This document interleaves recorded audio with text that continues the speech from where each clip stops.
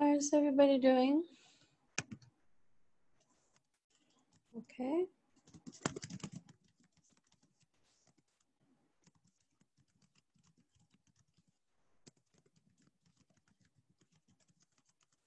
So please download your notes and your exercise for today.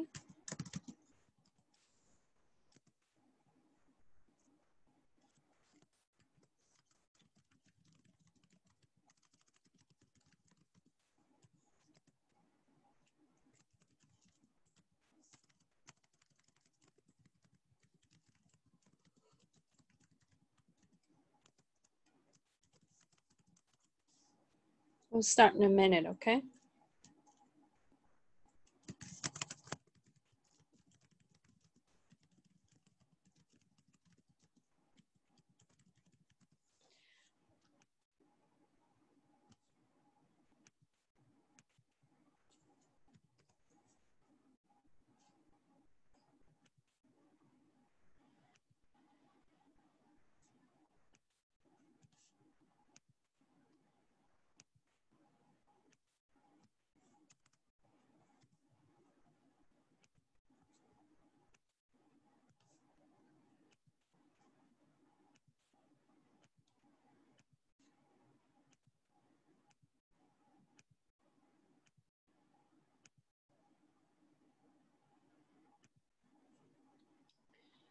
Okay, sorry, I had to push the quiz up real quick.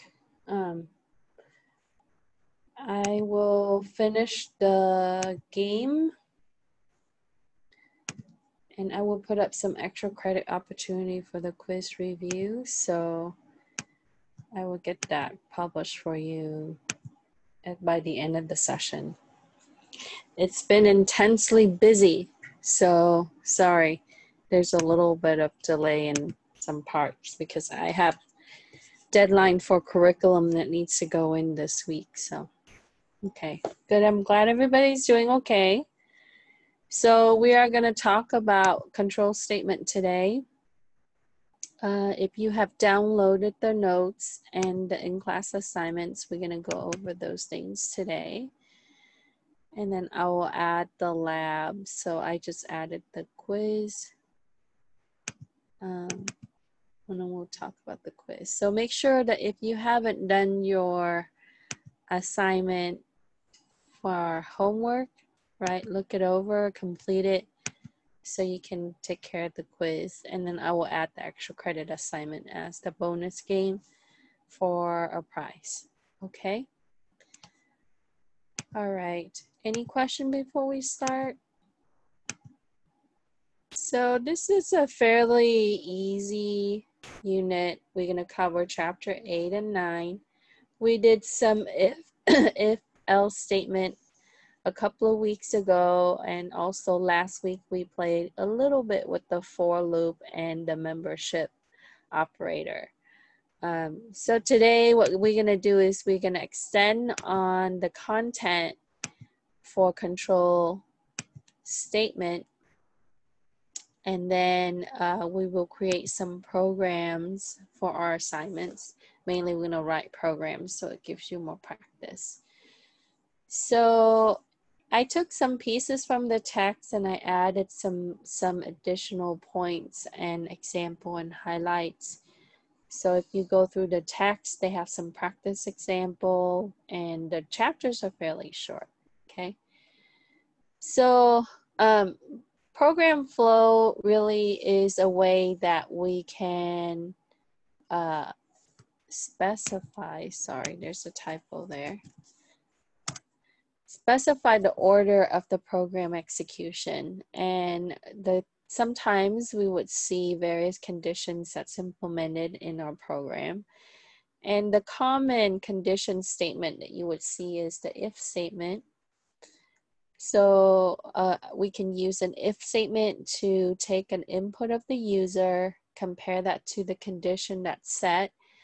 if the condition is met, then the code will, or yeah, the, the program will continue and it will execute the body of that if statement.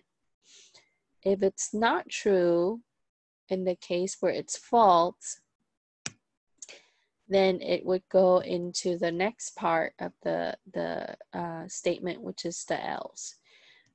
If we're only using the if, right, it's going to test for true. And if it's true, it's going to execute the body of the if. Now, in this case, we don't include an else, so anything that's not true, it's not going to do anything. So therefore, we should include the else. So in the case where it's, if it's false, it's going to go to the else body. The example that we're using here on page one is that we have num variable assigned as three. If num is greater than zero, we would print num is a positive number. And again, we're gonna always print it. Now, if you use num is negative, if we assign num is negative one, if num is greater than zero, print num is positive number, and then print, this is always printed. So in the first case, because we assigned it three, so it's gonna be greater than zero, then it's gonna print this is positive number, and then it's gonna print again, this is always printed because there was no additional task that we had asked it to do. So under that if body, it's going to execute this because it met the condition that it is greater than zero. And then to finish out the program, it's going to say this is always printed. And we can replace that with the end or something like that.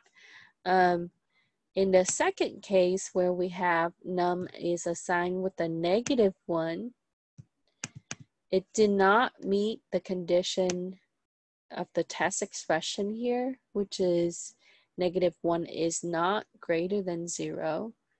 So it's gonna skip this one it's going to skip num is a positive number and then it's going to say this is always printed because that is actually the end of our program. It's not part of the if.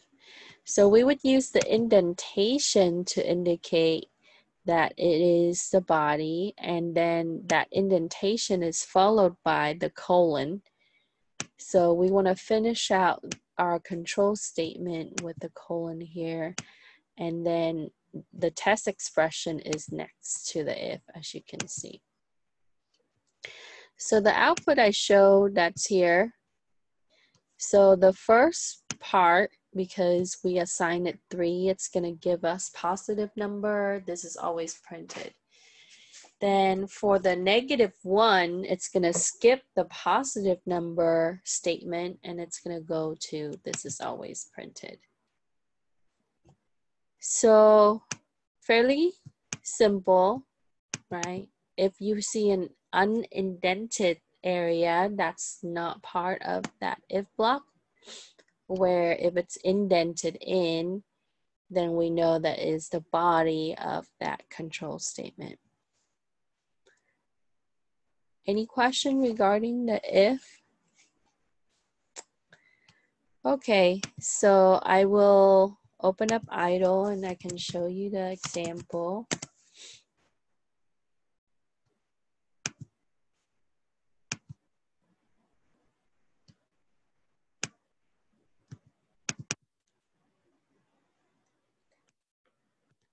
Now, in some cases, we would use if inside another if, and then we'll talk about if else and if elif, right?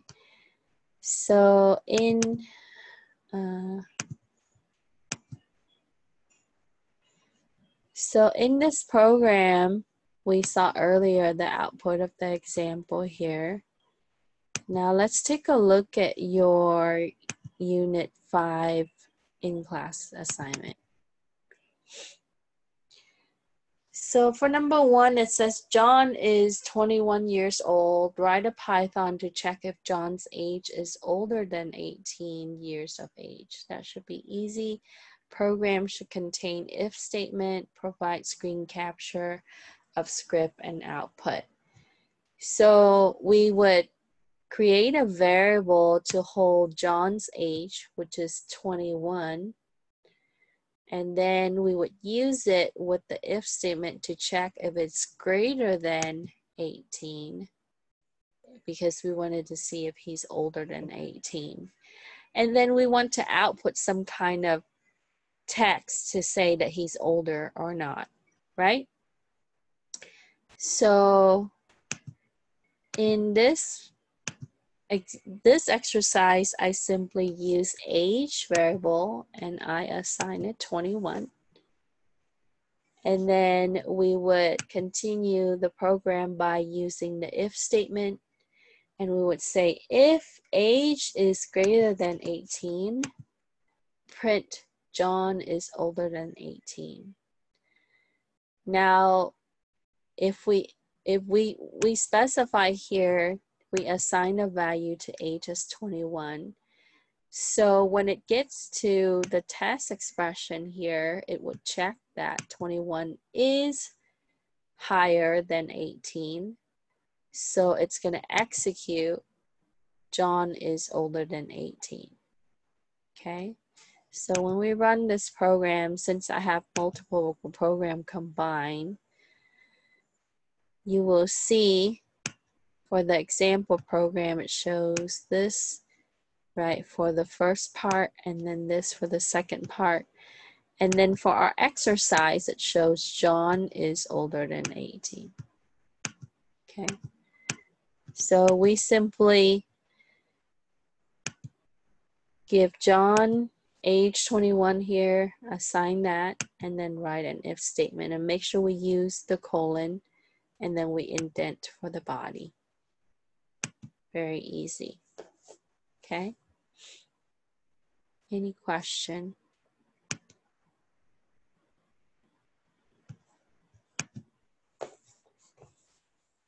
Okay.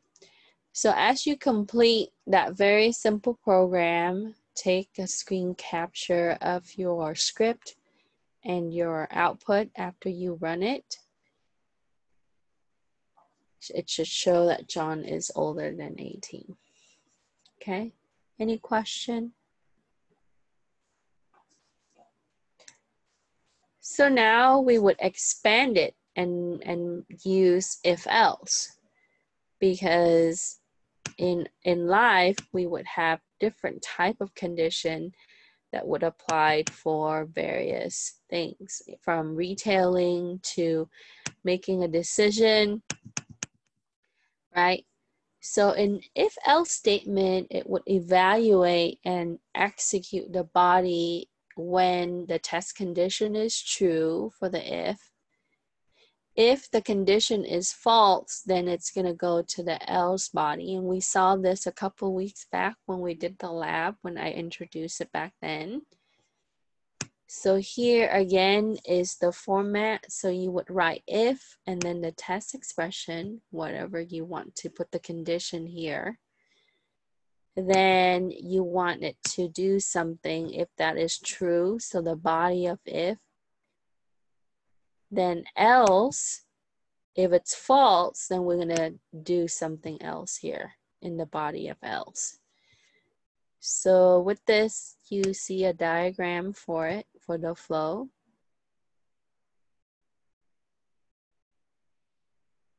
Okay. Now the example that we use here is we have num is assigned negative 5 and we use if num is greater and equal to 0 print positive or 0 else print negative number. So first it's going to test and see if negative 5, which is in num, is greater or equal to 0. Then since it did not meet the condition, it's going to skip positive or zero. It's not going to do that print. It's going to go to the else and it's going to execute negative number. So therefore we have negative number output because negative 5 is not greater and equal to 0. Okay, here's the explanation for that.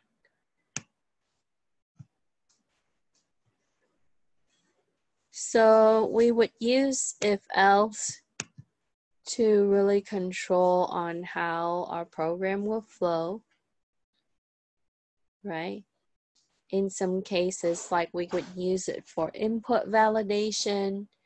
If the user enter the number that is greater than this number, then you would you would have it do something. If they don't input the number that is greater than the specified value or the criteria, the condition, then you would do something else. The program would do something else. So in our assignment, it tells you to, for number two, it tells you to use the if else statement for this. And you can use other loops for this, but since, you know, it, this is at the beginning, we'll use if else to make it simple. Store A sells 50 inch LCD TV for $400 and charges for shipping. Store B sells the same LCD TV for $530 and provides free shipping. The television weighs 65 pounds and shipping company charges $1.25 per pound to ship the TV. Write a Python program that determines which store charges less for the TV. Program should contain if-else statement, provide screen capture of script and output. So there are a few elements that we need to look at when we need to take a look at this problem. First, we have to really look at the price of the TV in store A. So we have to use a variable to create, to store $400 as the price of the TV in store A. The second element that's given you in that first sentence is that store A charges for shipping. So not only that the customer have to pay for the TV, the customer also have to pay for the shipping. So the entire cost for that TV would be TV plus shipping. So we have to be able to calculate the shipping costs for TV in store A. So that means that we would have a variable that holds the price for the TV from store A and something to hold the shipping value or the shipping costs for store A TV. Next, it says that store B sells the same TV for $530. So we would have another variable to hold the price for TV in store B. However, they provide free shipping. So when the customer buys the TV in store B, they don't have to pay additional costs for shipping. Okay. And to calculate the shipping, it tells you that there's it, the TV weighs 65 pounds and the company charges a dollar 25 cents per pound. So we can calculate the shipping by taking the weight and multiply it by the, the cost per pound, the shipping cost per pound. So that would give you the shipping cost for store A. Okay.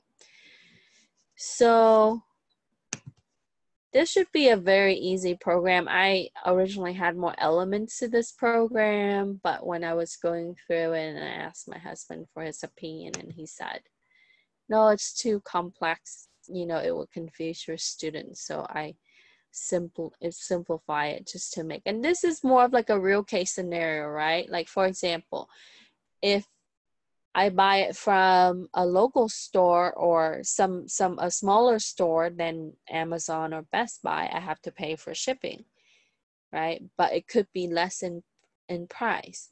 And then I can buy from one of the main store where I pay a little bit higher in price, but they cover shipping. It's, they ship for free. So for our program, and you can start writing it. It should be very easy to write. Okay, let me open mine up. We just have to implement an if-else statement. Okay, so the top part is the example program. So for the second part, the second part, I put store ATV. It's $400.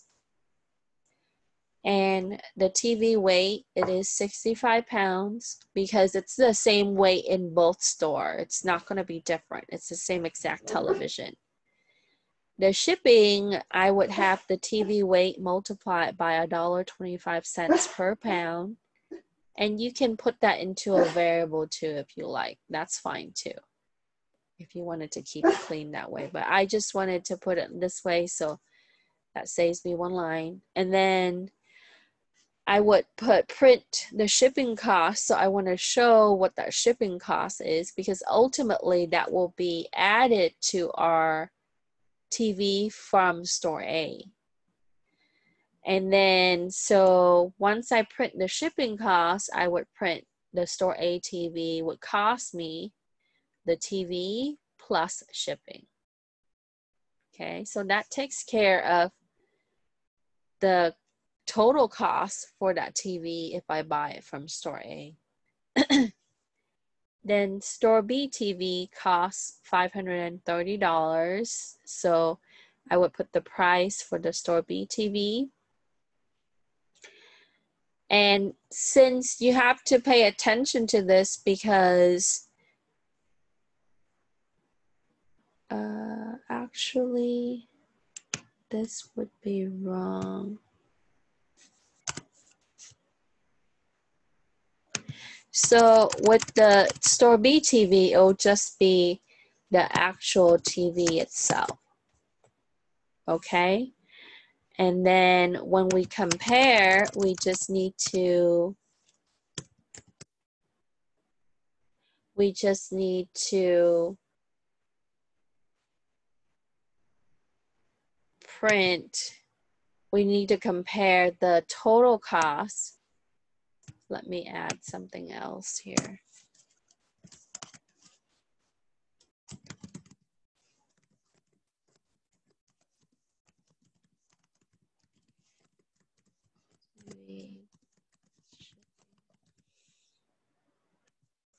I'm going to change it up a little bit because that way it makes more sense.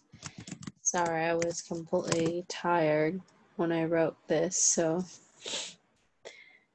So when we compare, we need to compare the, the shipping and the TV itself from, to, from A to just simply the price of the TV from store B. Because when we pay for the TV in store B, we don't have to pay for shipping so we would simply pay for $530. But if we buy the TV from store A, we have to buy the TV plus we have to pay for shipping. Okay. So when we compare, we got to compare the shipping and the TV from A with the store B TV. Okay. So if it is if it is, uh, if A is higher, then store A charges more TV. So if A is higher, then we want to say that store A charges more for TV. And then if it's else, then we can say that store B charges more for TV. Okay. Okay, so I simply use a variable to hold TV price from store A. Then I use another variable for the weight. Then I have another variable for shipping. Then I calculate weight times cost per pound to give me the shipping cost. Then I print it. That will be my shipping. Then with the store A TV, I have to take the price of the TV plus the shipping to get the, the total price that the customer is gonna pay. Then I print that. Then I use another variable for the store B TV, which is $530. I simply print the price of it to let the customer know then we do the comparison with the if statement to check. So if store A total price is higher than store B TV price, then we print store A charges more for TV. Else, we print store B charges more for TV. And you can, you know, print any string that you like. You can say, you know, if A is greater, you can say store B has better deal but I didn't want to do that to confuse everyone. So we simply just say that store A charges more so the customer would know that they would go to store B. Okay. So here we have shipping costs is $81.25. And with the store A TV, it comes out to be uh, $481.25 okay? And then with the store B TV, it comes out to be roughly, well, it's the same, $530. So B definitely charges more for the TV. Okay, and we can format it to get this one to get the two decimal if you want. You can use the dot format or you can do the round and make it where it's two decimal, however you wanted to do that to show the decimal, but that's the whole point is to use if else statement. Okay. So in the conclusion of this program, we would see that store B charges more for the TV at 530. So we actually save approximately seven, close to $70, 68 and 75 cents maybe uh, comparison if if we buy the TV from store A, even when we pay the shipping. Okay? Any question? 48.75. I'm sorry? Just closer it's forty-eight dollars and seventy-five cents you save. Uh, forty-eight. Um, yeah, forty-eight seventy-five. Mm-hmm. Well, that's roughly what you see, right? And and sometimes they would use that money toward overhead costs like storage and you know display and things like that and employees so when you're looking at brick and mortar store compared to online store, right? Online store might give you a little bit different in price and then they ship it to you for free where you have the brick and mortar right? If you order it and they have to ship it from their warehouse they charge you for the shipping or the delivery fee they call it right? So that would be that would be a little bit different okay so that gives you a little bit of real world practice on how you can use programming to analyze something like this. And you can go further than that, right? You can find the differences in saving for the customer and you can display that as well. So your program could be a comparison program for all different stores. Like you've seen a lot of this online where they have like the coupon program or programs that look at all the same item, all the same product in all different stores. So it crawl through and pull the prices and also the charges. And then it does the comparison analysis and it gives it to you. So you can make it into an app some for something like that. And people would use it, right? You see this for cars. I use one for car I think I used TrueCar or something like that. And they looked at all the dealership and then they look at the MSRP price and you know with the interest rate and all of that and then it gives me like the recommendation on which dealer would have a better deal on cars. So you can definitely create a program like that with control statements. Any question? Okay. So that would be an exercise on if else statement. Now, Python is a little bit different than C, C++ and other languages in the case where it uses elif instead of spelling out else if, right? So when you have if, else, if, else, then we can shorten the two else if word and make it elif so it would be short for else if. It allows us to check for multiple expressions.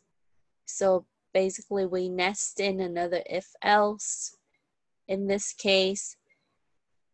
So if the condition for the if is false, then it's going to kick it over to the next part, which is the test expression for the second piece here. Okay. So if the test, the first test expression is tested false, it's to skip the body of if, and then it's to test the second expression here. Okay. If that is true, then it's to execute the body. If it's not true, if the test, the second expression is false, it's to go to the body of else. So, and again, we would use the indentation to indicate that that will be the body of the control statement. So if all the condition are false, then the else body would execute. Okay. Now, you would type it a little bit different than typing out else if, right? So we can combine that into elif and make it add the test expression with the colon. Okay. So that's a format for elif, elif else. So here's the diagram for the flow for that. Okay. So first expression, if it's testing false, it's going to go to the second test expression. If it tests true, it's going to execute the body of elif. If it tests false, then we're going to send it to the body else. It's going to send it to here. Okay. But initially, if it tests true under the if, it would execute the body for the if. So there are three components in this particular statement, right? So here's the example we have num is negative 5.2. And if num is greater than zero, then we would print positive number. Elif num is equal to zero, we would print zero. Else, print negative number. And in this program, it's going to print negative number because num is assigned negative 5.2 it is not greater than zero, so it's going to skip the print positive. It's not going to do that. Then it's going to check, is negative 5.2 equal to zero? Since it did not meet that condition either, it's going to skip the print zero part. Then next, it's going to go to the else because we have false from the first part, false from the second part, so else is executed. Print negative number, and that's our output. Okay, very straightforward. Any question?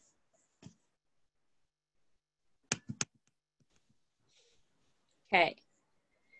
So here there's some explanation for that. And let's do a program from our assignment.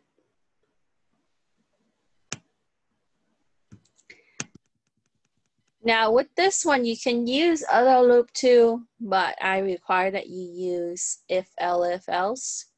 So for number three, it says Marcella receives grades on her math assignments 82, 91, 79, 63, 97. So she got five assignments grade, kind of spread across different grades there, okay? Write a Python program that determines if Marcella's average assignment grade determines if her average assignment grade meets these these scale, okay? So I should say,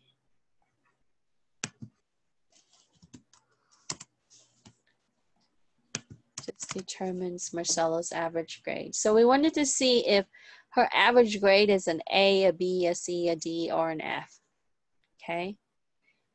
So now with the range, we have zero uh, we have 90 to 100, 80 to 89 is a B, and 90 to 100 is an A. 70 to 79 is a C, and a D is 60 to 69, and an F is below 60. Okay. So first we have to, number one, add up all her assignment grade and then divide it by five so we can get the average. So first we have to find the average grade for her assignments. Then we would apply the conditions to check and see if what if it meets a certain grade criteria. Okay, A, B, C, D, or F. Okay. So with this, we can use a list right? And then we can sum all of that up. You learned about the sum method already. That should be easy. You just pass the list name inside the parameter. Instead of using, you know, a for loop, you can do that.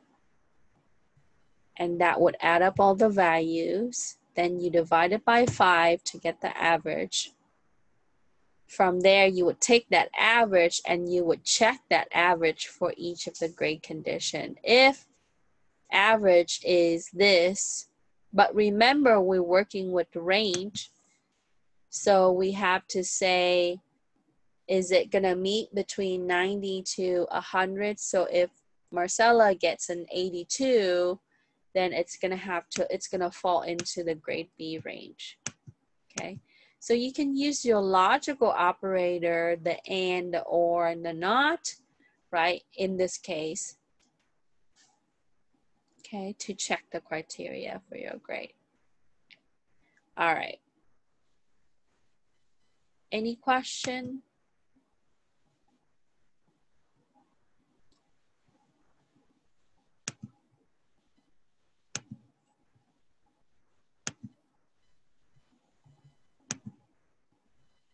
You could use the length instead of Yeah. using the five. Yeah, you can do that too. We learn about that length.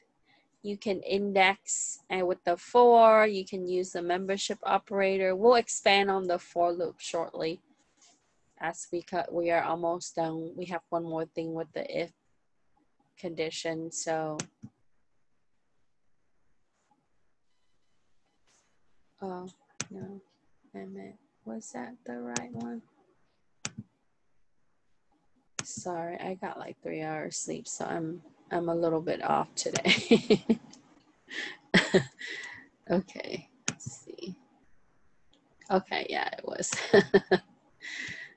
okay, so the first part is our example. As you can see, we saw that. So I had created a list called grades and uh, it would hold the given value 82, 91, 79, 63, and 97. So those are the grades that Marcella earned for her assignments. Then I have the total variable to hold sum of grades. So I simply pass that or you can, you know, you can use the loop to, to get it to generate and we'll talk about that. Then the AVG grade is total over five because we want to take the sum divided by five, we'll get the average grade. Then I have print average grade. Okay, so we display that. So here I would have if average grade is less than 100, actually I should say equal, less than and equal to 100, right? Then I would have and if it's greater and equal to 90, because it could be at 90 or it could be at 100, then the average grade is an A. Okay, so that's one. Then for the ELIF, I put average grade is less than 90 and average grade is greater than and equal to 80. So between 80 to 90. So that would be falling under the B range. So we want to use the less than operator here to represent 89 and lower. And then we want to use the greater than and equal to the 80 here because the range says that for B, it's 80 to 89. So that will be a B. And then we have another ELIF, average grade is less than 80 and average grade is greater than and equal to 70. That will give us the C grade. Okay. And then the last one for the D grade that will be less than 70 and greater than and equal to 60. And all else, right, last condition that we would say that the average grade is an F. If it's under 60, then we would say that that will be an F. Okay, because we already specify the condition here. So we calculate it out and we would see that her average grade is 82.4, right? And we can round it, you can ceiling it, you can floor it, however, but in the exact, since 82.4 falls in this range, I'm sorry, in this range, the second criteria, it executes that it is a B. And so our condition is met in the second ELIF.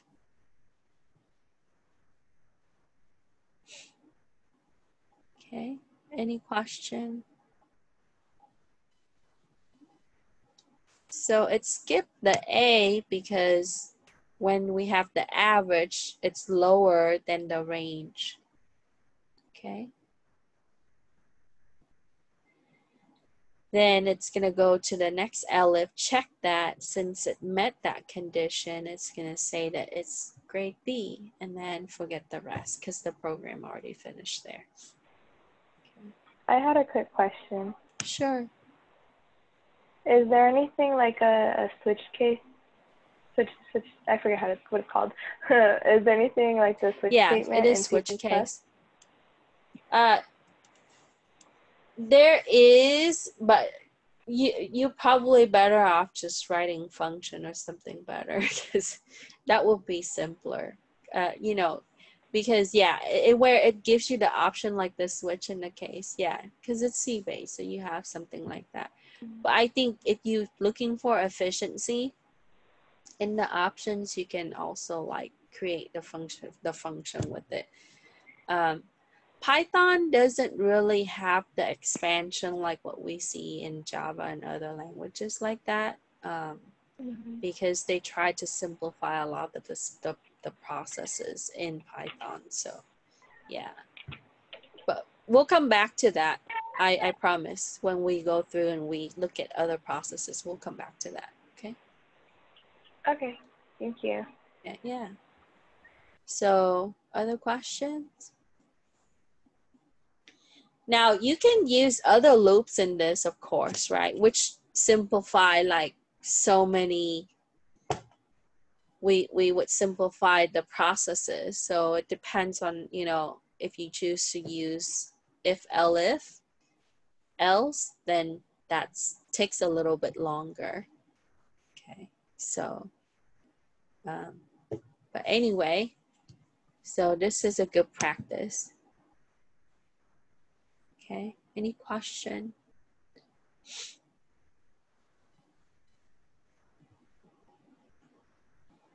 Yeah, I think a lot of my beginning programming students, they like the if else statement because it's easy to understand than some of the other loops, but this is a harder area because you have to apply logic right on how it checks true false.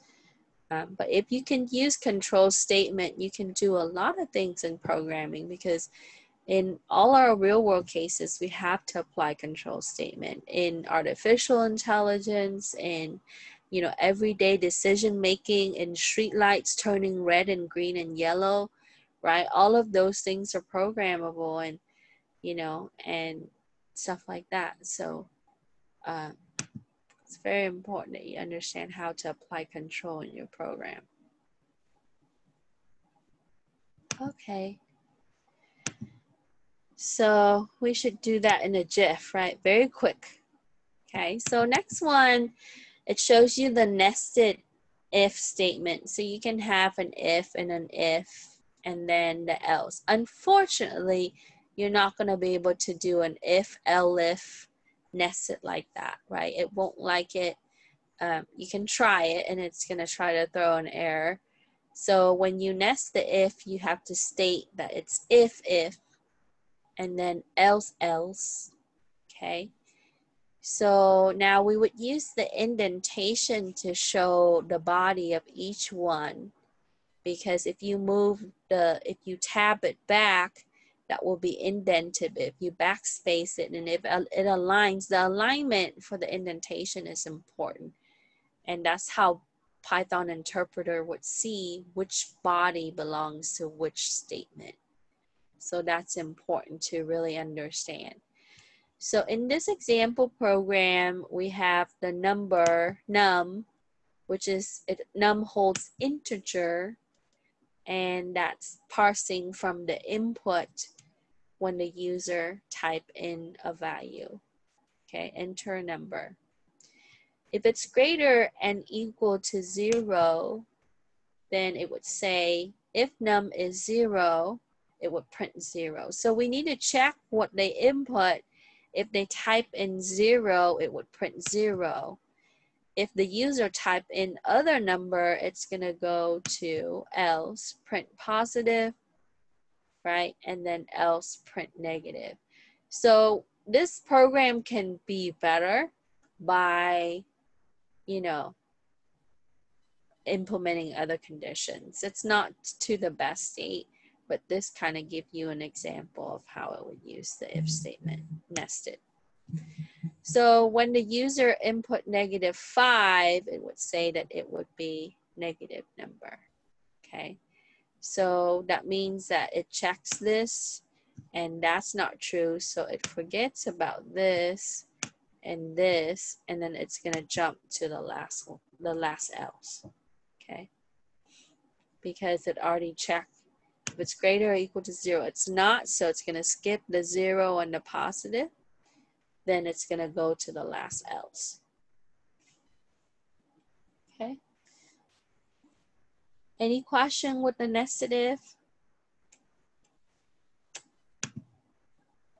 Okay, so let's talk about number four.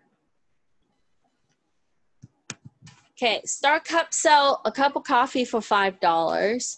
The store provides 10% discount for purchases when all the following conditions are met. The customer has to spend $30 or more on, on purchases of beverages. Okay. So that means that my total has to be higher than 30. Um, and we need to have six or more beverages in one purchase in one transaction. Okay.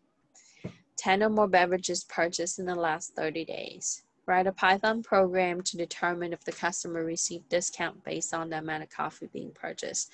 So the program should prompt the user two things. How many cups of coffee they purchased in the last 30 days, right? And we would use the input to check the condition. The second questions that it should prompt the user is, how many cups of coffee they want it, they want to buy today in one transaction. So we can check for the second bullet, right? So now if you know they the stores they do this, sometime they will give discount if you buy more things. So if the user put in higher number than six, then we need to check to see if the user would get the discount. Okay mm-hmm. but we want all the conditions met. So we can implement logical operators with this using you know just the shorten condense if else but in the case we want to practice the nested if so we want to use nested if statement for this program and we would have multiple inputs so we would have the input for the 30 days in the last 30 days and then the input for how many cups of coffee they want to buy today. Okay. And then we'll store that into two separate variable, use those to compare. And then we also, we can use the input for the today purchase and calculate if it's gonna be greater than $30.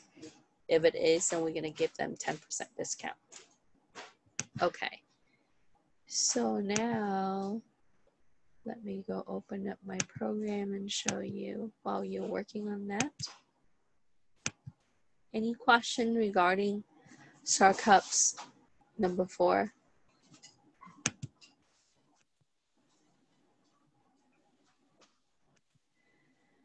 Okay, so here is the example program that we saw in our notes. That's at the top.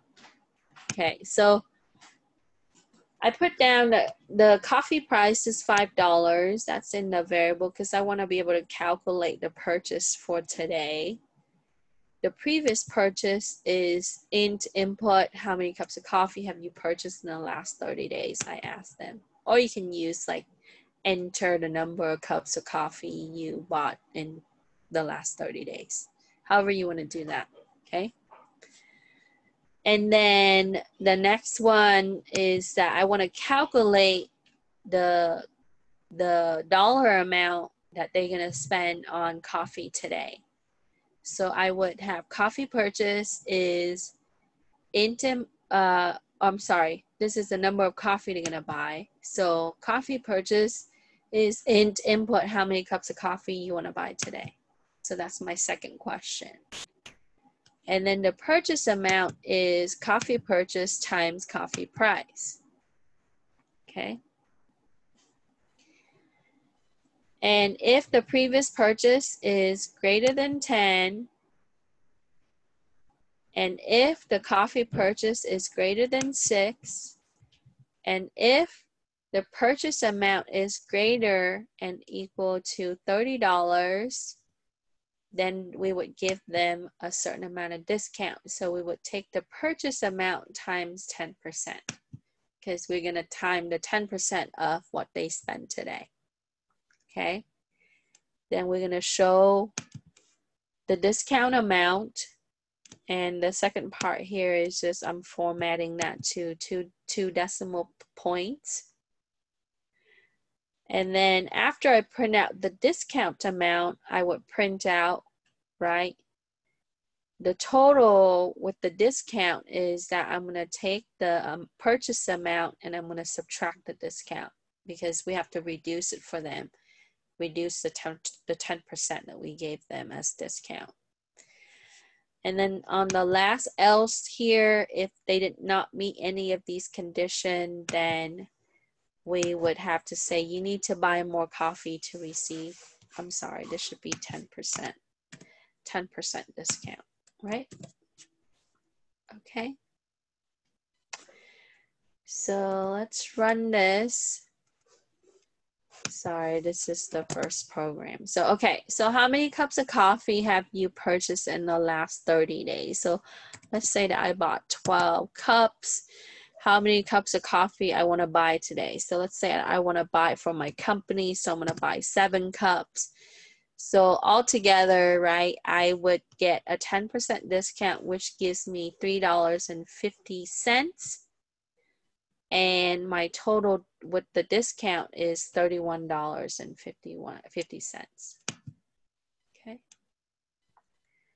So as I test this, that works. Okay, and we can retest it again with the less value. So let me close my shell and so that way, because the font is a little larger, so it's gonna float to the bottom. So let's do an F5.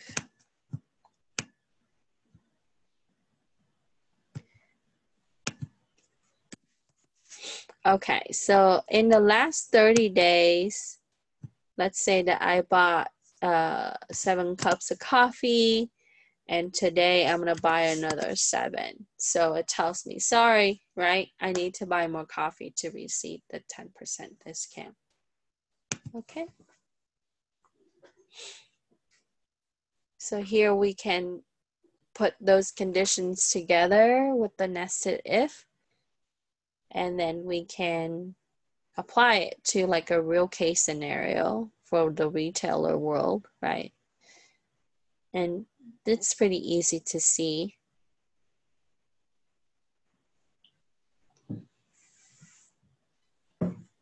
Okay, any questions?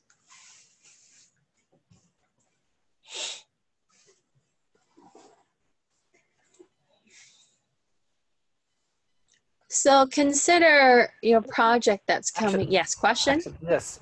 So, oh, never mind. I think I should. I got. So you don't you don't have to put an else for all the ifs, right? All the nested. No, because we want all three of those to be met. And then together, like they could not have any otherwise, right? The 10% discount is that mm-hmm. if they spend $30 and they they have to buy 10 or more last month and they have to buy 6 or more today. I kind of got confused because the example does have two L's. Yeah, the example, the example they you would if you apply the else there, then you have to repeat the message continuously, and I don't see the point in that, right, Chris? Like if if I have the else under each if, it's gonna we have to Yeah. repeat the message like sorry or you know and you know so it's the same message that's being displayed, so there's no point to do that. Okay. Other questions?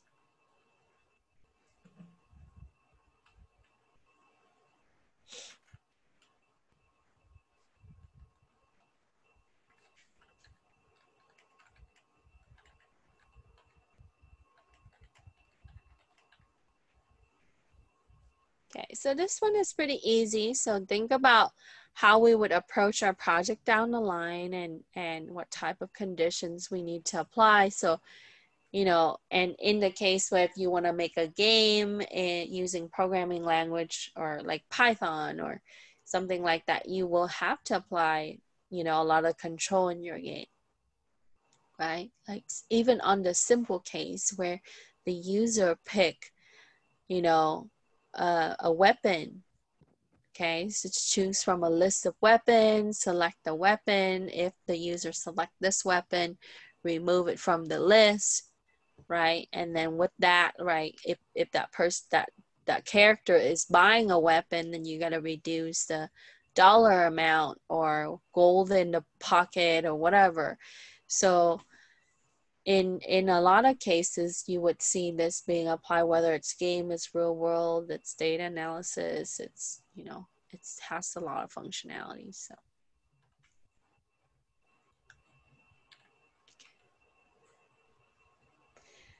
Okay so this is exercise four. And remember that we can parse we need to parse it right with the input because if you have it just regular input then it just be it's coming in as ASCII text. So it's not going to be to, it's going to throw an error because when you try to calculate it uh, it won't be accurate because we want to have it as an integer. So that way we can calculate the amount of the amount that they're going to spend on coffee. And then we would apply that into the discount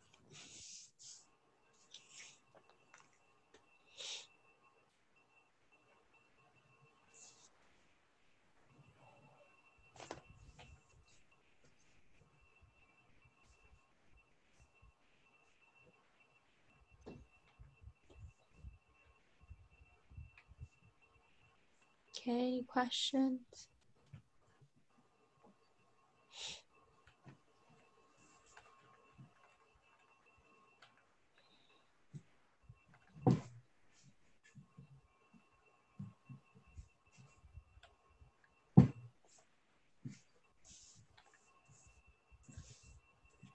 Okay, so as you test through exercise four, right, you can gain a little bit of more practice with if nested if. Okay. So last week we already talked about the for loop a little bit. We I preview it a little bit and then this week we're going to spend a little bit more time on writing for loops. And it's compared to you can write it like the way you know with the components with the c c++ plus but python is so much simpler the fact that we have membership operator which is fantastic because i think that's so great where we you can you don't have to look at like start stop and then you know but when you implement the while loop you will have to have a starting point and a cap point which is when you want it to stop. So uh, otherwise it would just go infinitely. So with the for, we can use to iterate over a sequence, right? And we would often see like list, tuple, dictionary, set, or string. So we played with string last week. We touched a little bit on lists since, you know, earlier in the semester. Um, so in any case, when you have a collection of values or objects in a container, you can utilize the loop to have the iteration uh, action that goes from one point to another. Uh, and so we can write a set of statement that would allow us to access each of the item in the container by either, you know, usually indexing. So we would access the values for each of the element in the list, or we can look at tuple, right? We'll talk about tuple next week and list again, uh, or set, etc. So the format is this. So you would do a for a value, and then whatever that's in that sequence, right? You would refer to that as an identifier. And then we would use a colon and then indent the body for four. Okay, very straightforward. So here is where the for, so it's gonna have for each of the item in the sequence. So if you have five items, it's gonna go through it five times, right? If you specify that that's the length of your group or your sequence. And then when it gets to, in order to go from one to the next, right, it's simply check is it the last item? If it's not, then it's going to keep going back to the body of the for. Okay, so if it's the first item, right, go to the body, second item, go to the body, and so forth until it gets to the last item, the last element. Then once it finished that, it's going to exit the loop. So the for allows us to have repetition. So here is an example. You have a, you know, a list that contains values starting with six, five, and then it goes on. So here we have two, four, six, eight, nine elements. Okay. And what we want to do is we I call this the running sum where we would take each number and as we go through the loop, we're going to add those value, right, from each of the element. We're going to find the total at the end. So here we would initialize total as zero because it is a container. We want to set up that container to hold the sum of all the numbers in that list. Then here, this val here, we talked about this last week, but if you miss it, it's just like a way that we would refer to the item itself or what would be the index like I in the regular C++ for loop. So we would say for the value in numbers, so it could be this one, this one, this one, this one, or this one, or go on forever, right? So we would say for val in numbers, for each of the value in the numbers, right, we would do a total is total plus value. So we mm-hmm. would add each one of this as we send it, we, we go through the loop, okay? And then we would print out the sum, which gives us 48, okay? So you can do it that way. Okay, so before we talk about the range, let's do a practice. Let me get my battery plug, otherwise it's gonna go to sleep on me. Okay, so uh,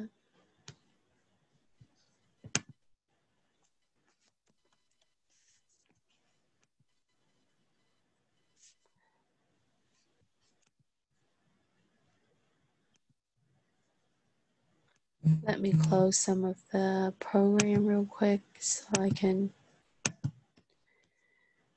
Okay, here. Um, for the next one, it tells you that in the diet plan, a client loses 10 pounds the first month, 12 pounds the second month, 8 pounds the third month, and 4 pounds the fourth month. Write a Python program that uses the for loop to find the total weight that the client had lost over four months. Provide the screen capture of the script and output. So that's pretty easy.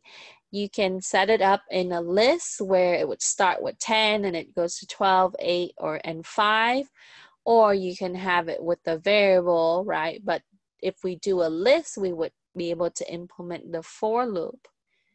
And so that way we can do a running sum, like the example, to add up our weight loss for the client. Okay? And we're only going to do it. This is the four months weight loss program. So,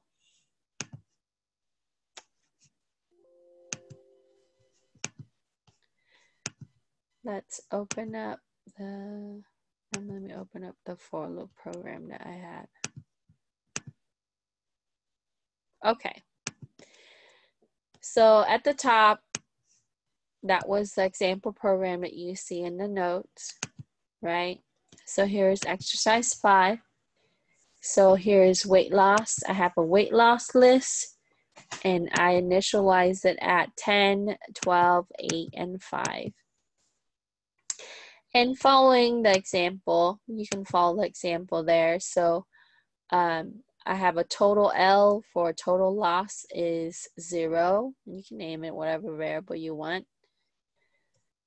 And I would say for I in weight loss, total L plus equal I, right? We have a running sum. So I use a compound assignment operator there where technically that is total L is equal to total L plus I. That's that's what it's what it is.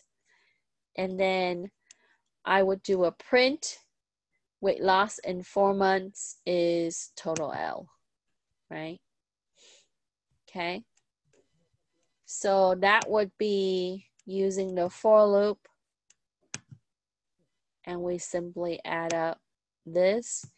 We use the membership operator in because we're saying for each of the element in that list, weight loss, we would add them together and put it in total L.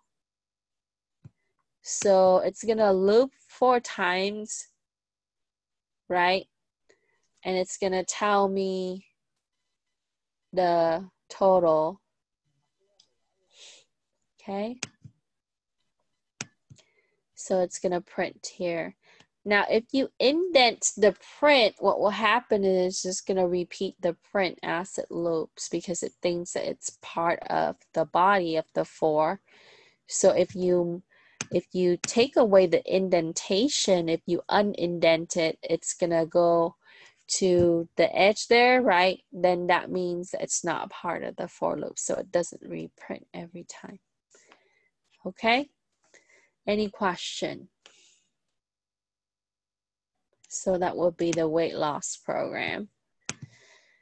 Now I'll talk about the range shortly, but let me run this so you can see and the, the range one's gonna run with it too. So for that program, I would have the total weight loss of the four months is 35. Okay, so that client lost 35 pounds in four months. Okay.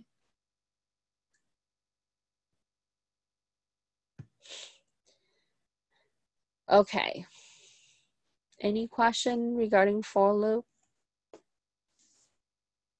Just a few lines for that one.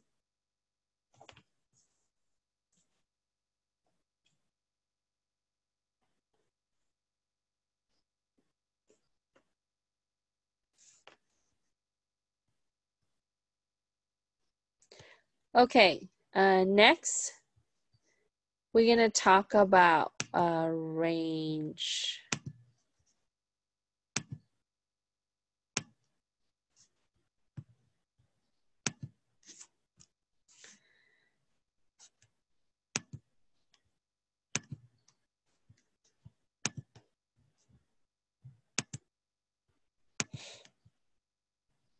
What happened to my, let me close this. I'll come back to that, okay?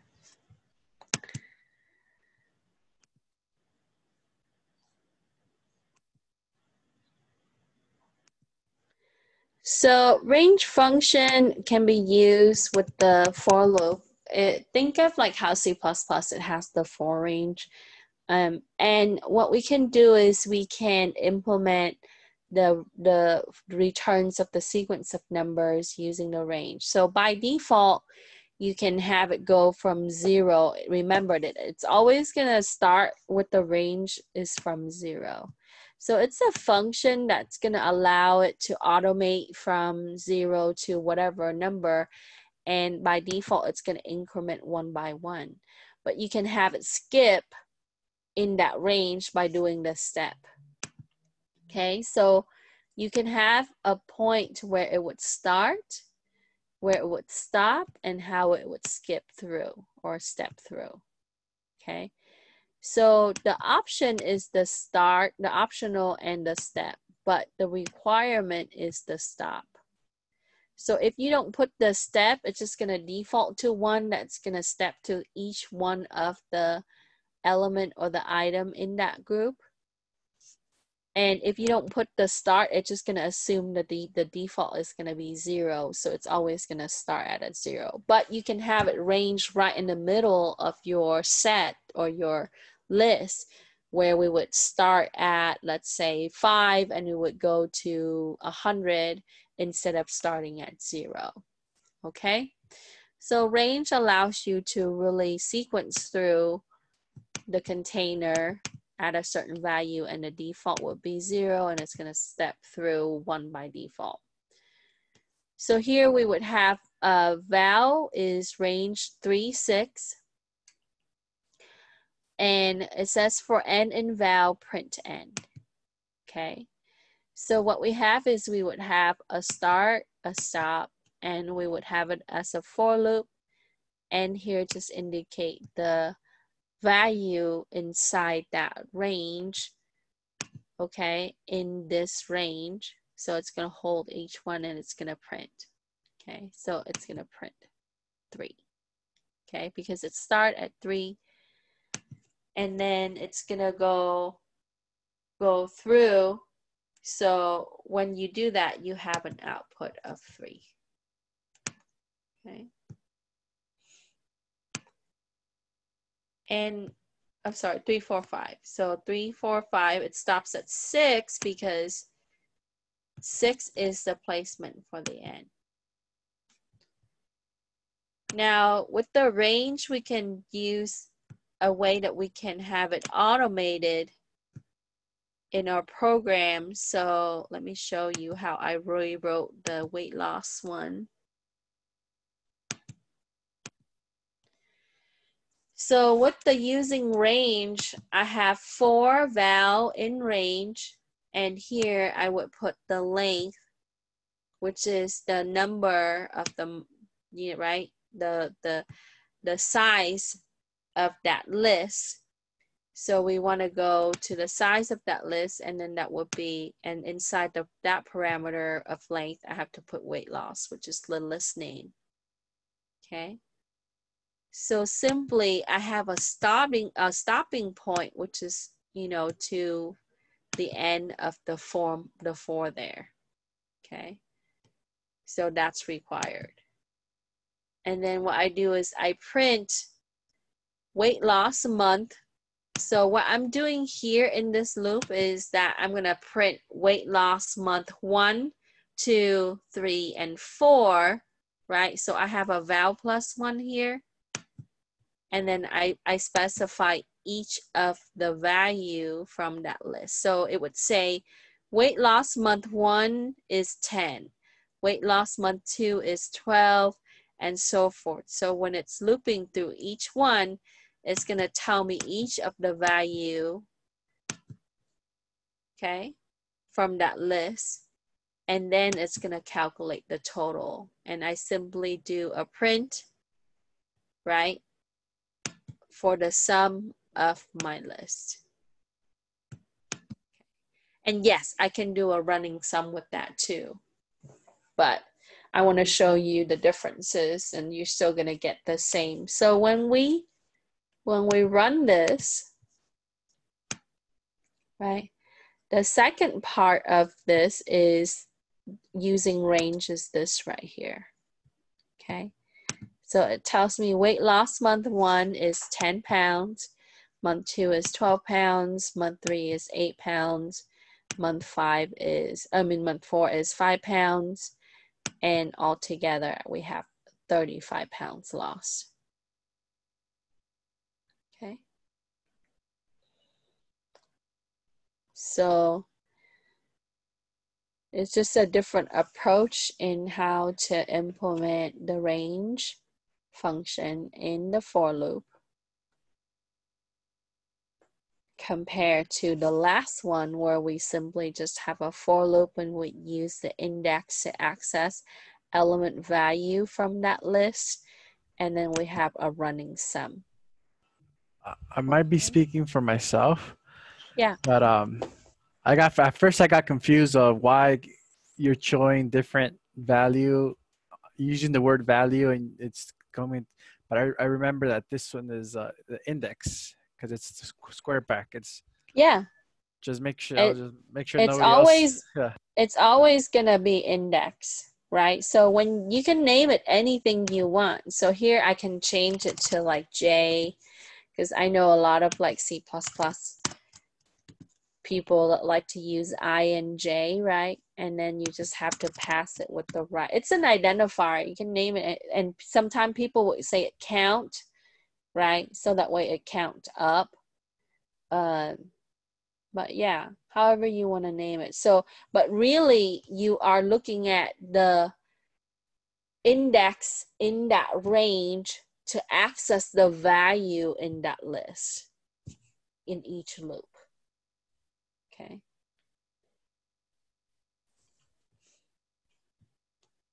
Okay. So yes, it is going to each of the index here starting at zero because the range, the range is going to default to the zero and it's going to go to the length of that list, which is the last one here, which is index three or the fourth element. Okay. So when we, and we are required to have a stop. We don't have to have a start. So if you don't have a start, it defaults to index zero, which has 10 pounds. Okay, so it would start there and it's gonna go to the next one, the next one, and then it's gonna finish at five, which is index three. And that completes the length of that list. Okay. So a way that we can get away from not using length is to specify the range from zero to the end, right?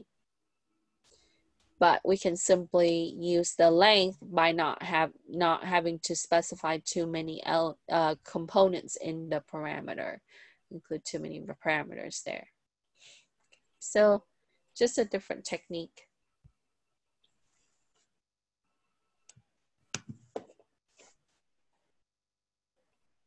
Any question?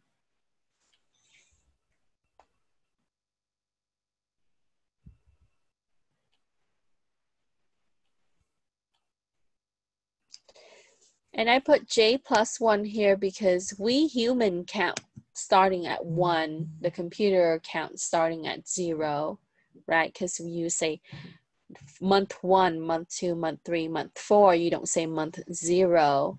So we have to do a plus one there to make the human understand it, that that's the first. 10 is the first, right? We don't say the zeroth, we say the first. So we have to do a plus one. Okay.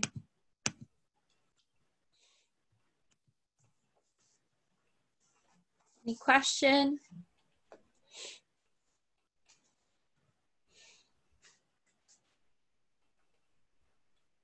Okay, so two approaches there. All right, next. We're gonna finish a little early today, I'm sure. Just got a couple things to go over and okay. Uh, next is we're gonna talk about while loop. So with the while loop, um, the expression is check first and the body of the loop entered only if it evaluates true and it's going to keep going as long as it is true.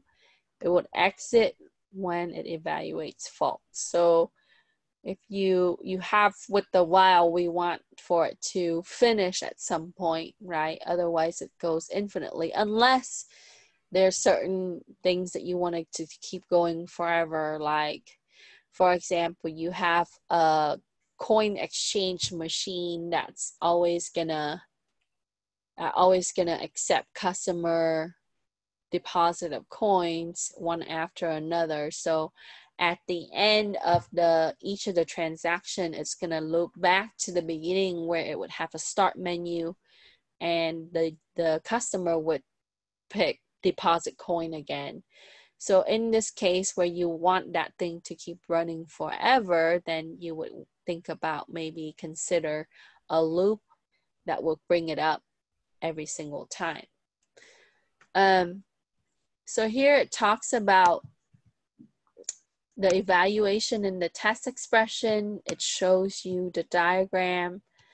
So it's gonna have the test expression check and if it's true, it's gonna execute the body and it's gonna keep doing so as long as it's true. But when the test expression evaluates false, then it's gonna exit the loop okay, as we just talked about.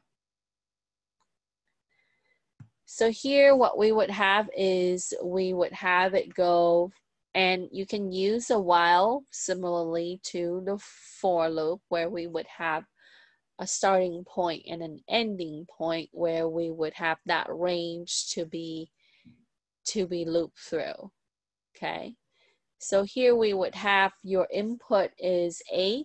So this is the number, this value here, n is 8. And you would have the total variable would be the variable that holds the running sum as you add each of the value. And you would start with 1 so we want to be that while i is less than and equal to n, that means it's going to go from 1, 2, 3, 4, 5, 6, 7, 8. Okay, so it's going to check that if 1 through 8, as long as the value for i is less than and equal to n, we're going to add it up. So it's going to add 1, 2, 3, 4, 5, 6, 7, 8. And when we do do that, we're going to go ahead and update the counter for i every time. Okay. So we wanted to do to have it increment. And you see this with, with you know, how we would implement it in the for loop where we do an i plus plus. So we would just do an i plus one in this case. And so now we would go ahead and print the sum and the total is, right? And it's would run it through and it would add it up. Okay. Any question? Okay, so that's how you would use the while. Um, so for number six, it says, given the range of number zero through 100, write a Python program using range to print all even values from zero. And that's easy. That just went back to what we were talking about. So you can have a start with inside the range function, which is zero, and then you have a stop, which is 100, and then you have a step, which is two, because you want only even values. So it's gonna go 0, 2, 4, 6, 8, 10, 12, blah, blah, blah, blah, blah, right? All the way through. So you would have, you would have a range from zero through 100 with only even. Okay. And I have a program that's created for that. So I'll show you real quick. So we're gonna go ahead and open.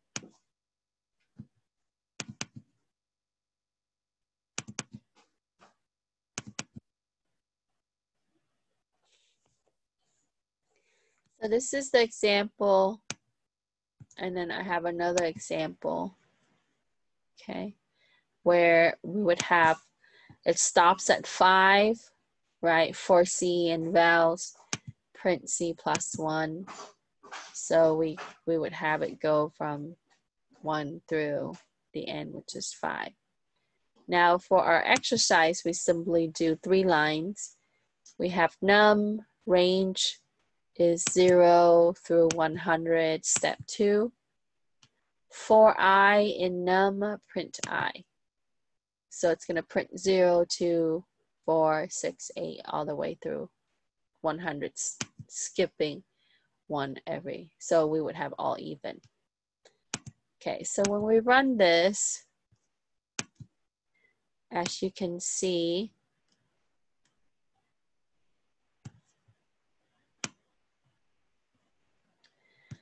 So the example one, you have three, four, five, that was there. And then example two, since we go from one, right, C in vowels, print C plus one. So we would have one through five there.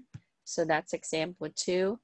And then my exercise six start here, zero.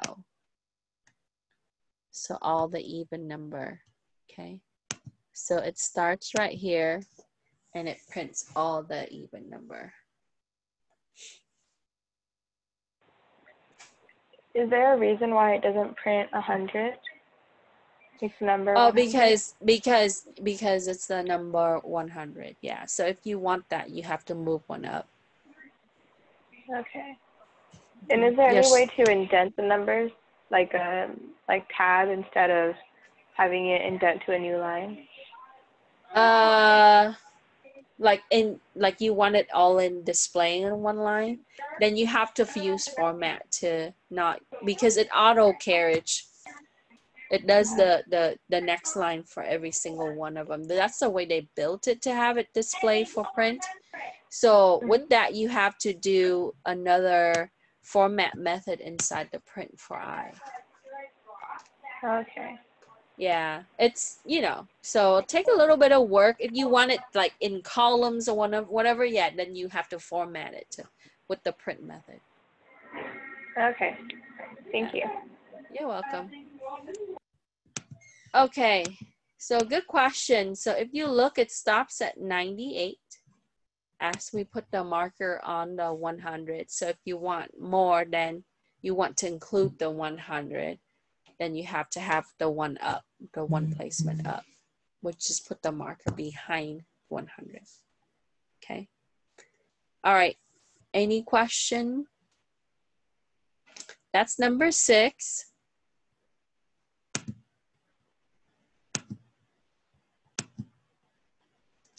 For number seven, it says at a restaurant, Katie orders the following items. She got a burger, which is $9.99, a milkshake, $5.25, fries, you know, so the given prices, fries, two tacos, nachos, and lemonade. Write the Python program that determines the subtotal of Katie's order.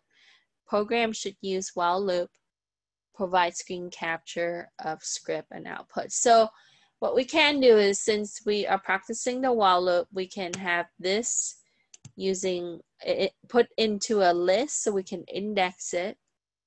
And then we would give it a starting point, right? And then we would have to, to go up to the end of that list or if you specify the length or if you can use the the uh, number of your elements that you have which is in this case six items that she's ordering okay and so we just have to total it up as it's accessing each okay so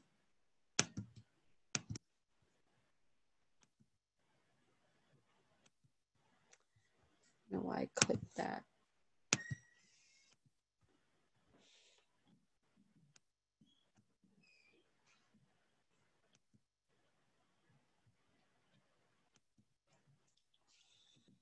Okay, so exercise seven, start in the middle there. The first part is just the example.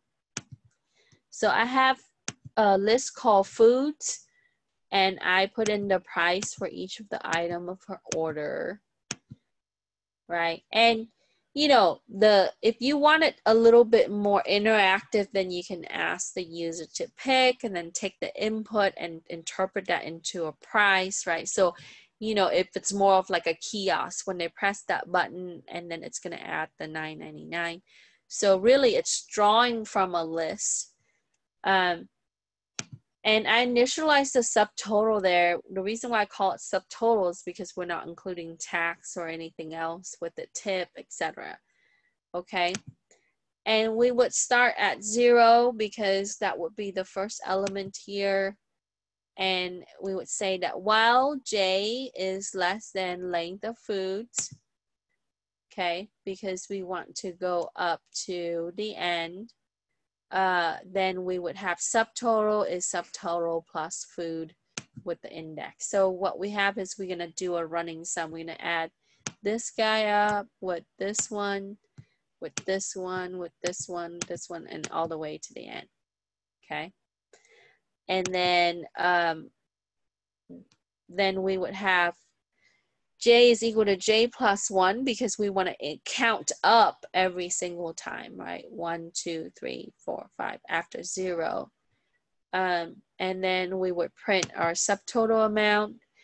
And I simply, at this point when I did this, I was a little tired. So I just simply use a round method with inside the print. And I wanted to round it to two decimal points, which is more valid, right? Because if I have any straggling decimal points afterward, I want to round it up to the cents. So I would have the subtotal with the round two. Okay. So when we run this, let me exit this so it would put it at the top. So the example we have uh, is 36, but our subtotal is going to come out to be 29.98 okay for her food order before tax and tips.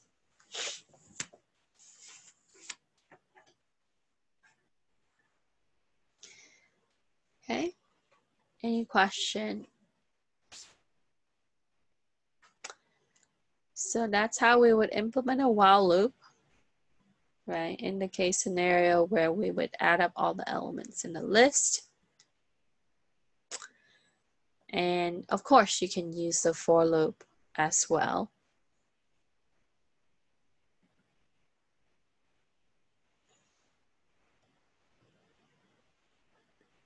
Okay.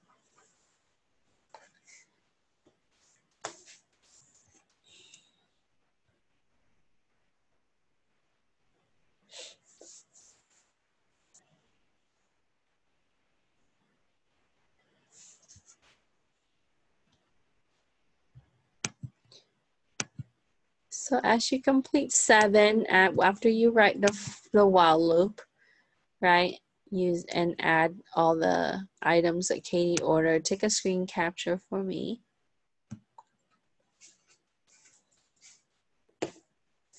And then eight and nine, we're gonna use continue and break. So in Python program, what we can do is we can have range to generate the numbers as we've been doing in the last couple of exercises. What we can do is we can also break, right, at us, we can have it stop at a certain point so that way it doesn't go to the next one okay? Or we can continue it in a different spot by using the continue statement. Very similar to Java and C++. So same concept there, okay? So in the break statement, it terminates the loop and resume the execution in the next statement. So that means that it would just stop it there and then if the program has other parts it's going to go to the next part of the program after that loop the break terminates the loop containing it the control program flows into the statement immediately after the body so it gets out of the the loop and then it goes to the next statement um, so we would want the break if there's some kind of changes in the condition. Okay. And so this is the diagram for that. If it's yes, if it checks true for break, then it exit the loop. If not, it's just gonna keep going for the body. So here, if we print, if we have a for loop, and here we're using val again, but that's really an index, right? So if val in programming string or for val in programming string and if val is i if it gets to a character i it's going to break so in this program we're going to index to each of the character in the string programming and in the condition where it is an i then it's going to stop okay we want it to stop when it's an, uh, an i okay? So we're gonna have it break and for each one we wanna print. And as it gets out, it's gonna say the end, right? Finish, no more, okay? So our program is gonna do PR O G G O G R A M M, and it's gonna stop because it sees the I, and then it's gonna show the N, Okay. Any question?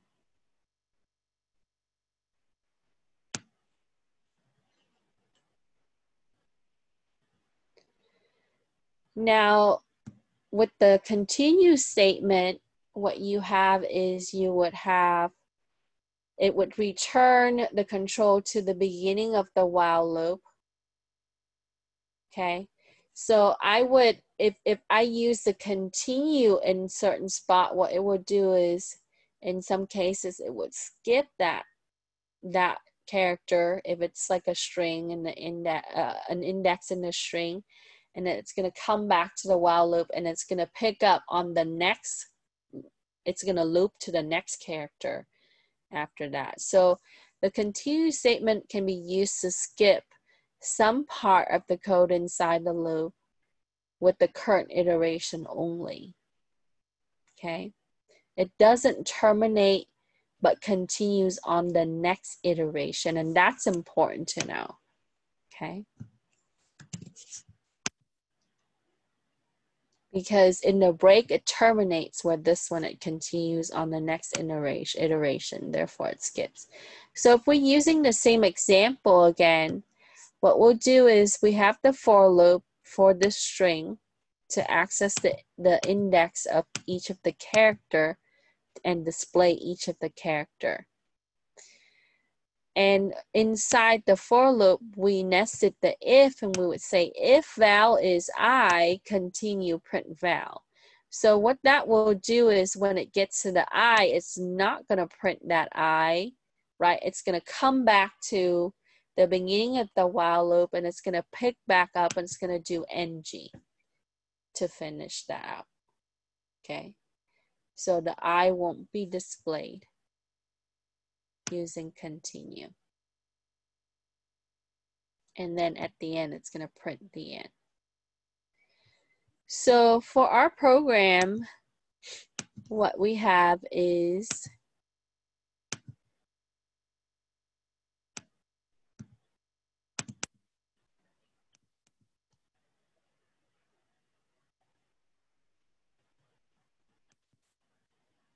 So I'll show you the break one first. Okay, so for number eight, we have the break. This is the example, right? So I have nums and I would have a range 20. So if I don't put the start, which is zero, right, it's just gonna default to it anyway. So I can just simply put 20 because the assignment tells us to go from zero to 20. And then I have a for loop for C in nums. If C is 11, break. Print num C. Okay. Any question?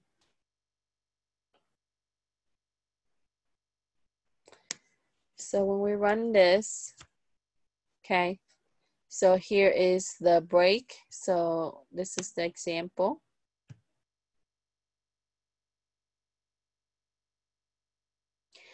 And for the exercise eight, I have zero and it got through 10. When it gets to 11, it's gonna stop. Now, if I wanna include 11, then I have to specify that C is 12. So it's gonna go from zero to the 11th, but this one, it says to the 11th number, right? Which is not 11, it's actually 10. So if you count from zero to 10, that gives you 11 places. So it did print 0 through 10, and then it stops, it exits the loop.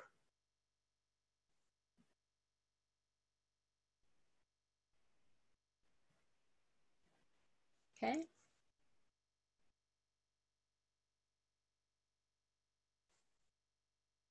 Any question? So that's one's very easy. Okay, we have for loop, if nested, break, print. Okay. Now for the continue.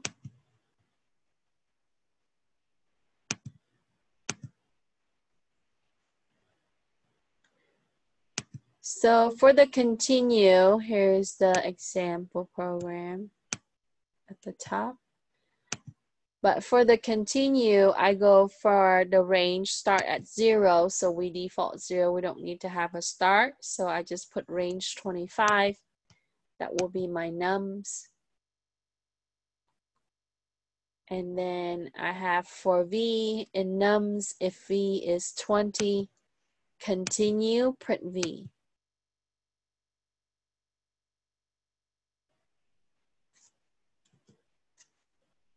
Okay. So the top one is the example here where it skips the I. And then my shell gives me from zero all the way down to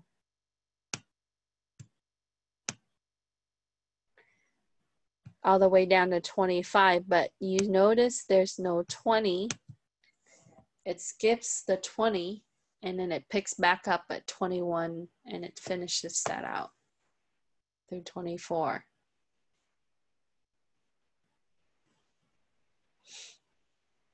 Okay.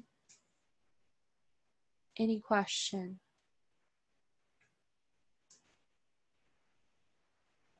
Okay, so we got a little bit of practice with break, continue, range, for loop, while, if, elif, if else, right?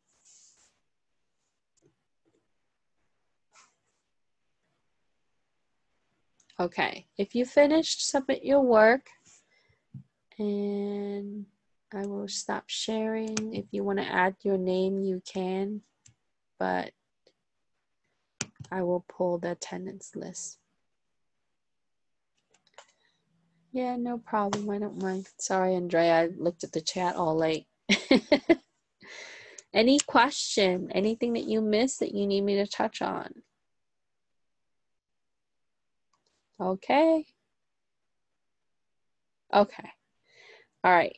If you're using a nickname, you can type in your name in the chat so I know who you are when I pull the chat the chat log. But um, well, I hope you have a wonderful afternoon.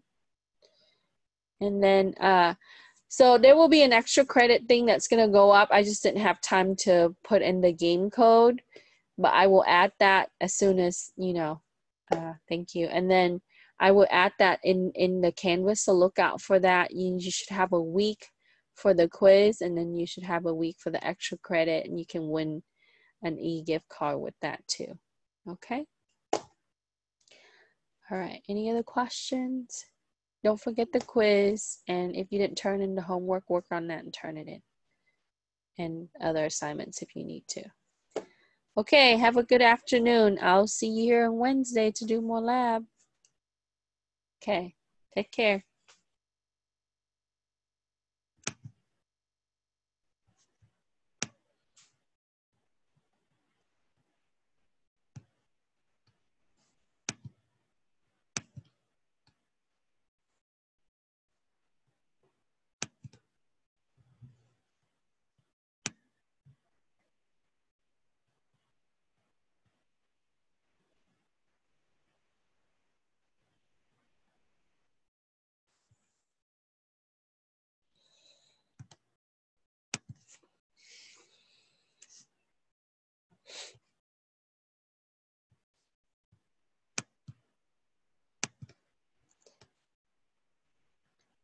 Cynthia, did you have any question for me? Yeah, I'm sorry I couldn't make it today, Professor. Um, I just had some little I know it's okay. It's okay, no problem. What's up? I just, uh, let's see. Bring up, um, sorry, lab.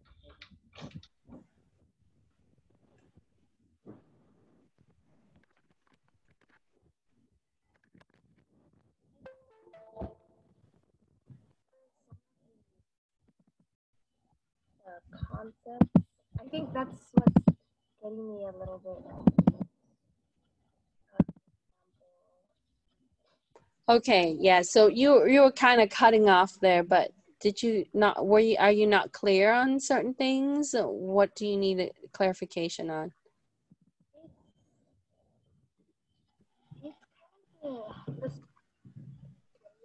I don't know, they're, they're confusing me just a little bit. I think with the, Okay.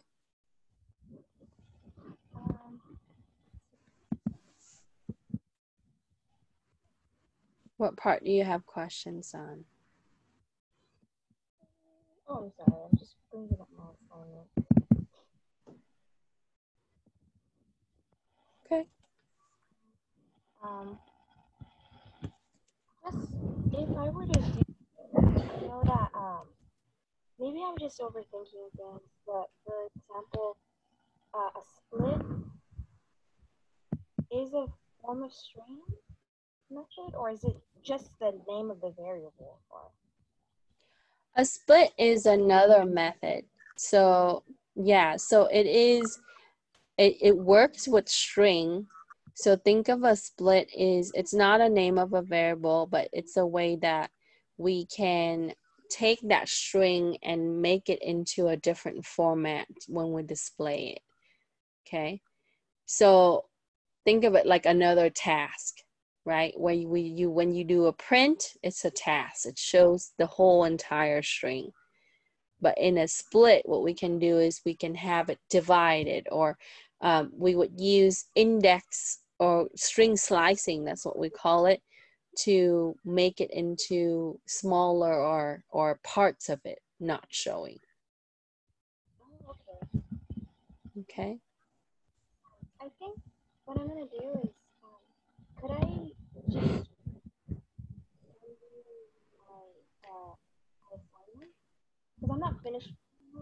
Just reviewing them. But You can show it to me right now, the stuff that you're not clear, because I enable screen share for you. If you want to screen share, I can take a look at it. Or if you want to highlight, like if you email it to me and you highlight like this section, this question, this question, can you clarify this? And what I'll do is I I will put in the notes for you, right? Like to look at, you know, what it is and things like that. So that's what I can do for you. Um, if you have like. What's up? I do that instead. Um, just email the stuff that I that I need. Yeah. Yeah. Before you submit it, that's fine. So you can shoot me the attachment and then on the attach on the document itself, you can highlight or put the notes in in a different font color so I can see it. Like, you know, what you are not clear on or you know, you don't understand this. So that way, you know, I can maybe put the notes in or when we see each other again on Wednesday, I can possibly point it out to you at the end that you know so i'll email it back to you. Okay? Great. Thank you, Dr. You're welcome. I'm sorry that you feel a little lost there but hey we can catch you up with no time. A lot of this stuff is really simple. Once you have something clear up it's going to help. Okay I just feel a lot more comfortable to speak to you too. okay.